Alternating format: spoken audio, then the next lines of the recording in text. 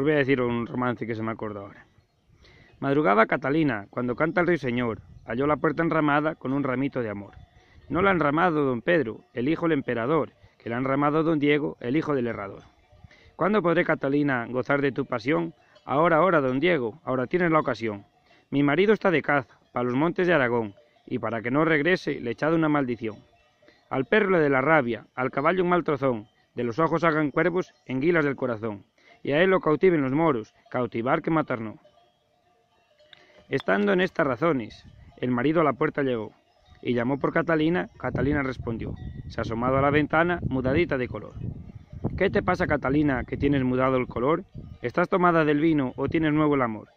Ni estoy tomada del vino, ni tengo nuevo el amor, que se me han caído las llaves del más alto corredor.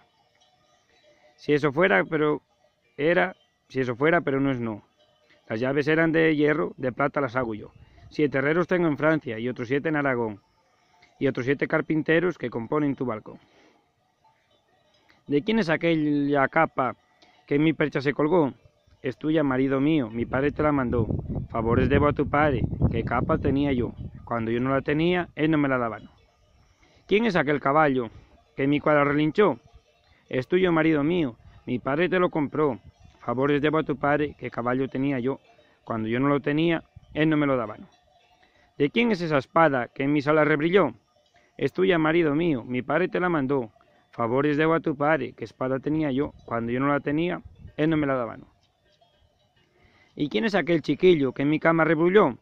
Es mi hermanito el pequeño que de la guerra llegó. Pues si es tu hermanito el pequeño, conocerlo quiero yo. Dame la muerte, marido, la muerte merezco yo. De siete años va para ocho, que te hago la traición. Siete y ocho y otros tantos va que te la noto yo. Matar yo no mato a nadie, matar solo mato, mata a Dios. Iremos a ver a tu padre, a ver qué mujer me dio. ¿Qué culpa tiene mi padre de los hechos que haga yo? Pues te meteré en un convento y allí que te mate Dios, y nos diremos los dos, adiós para siempre, adiós.